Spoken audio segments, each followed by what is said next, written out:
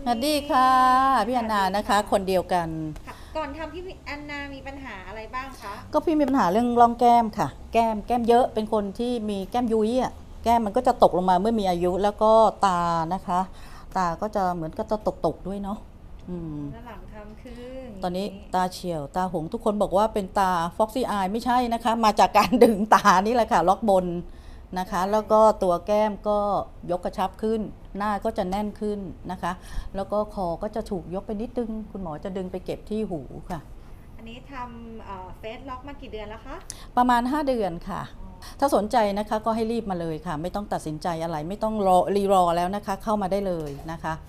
ที่นี่บริการดีที่หนึ่งนะคะ ความสะอาดความปลอดภัย มีให้หมดแล้วก็ทุกอย่างอยู่ในงบหมดเลยค่ะ คุณไม่ต้องจ่ายเพิ่มแม้แต่บาทเดียวนะคะ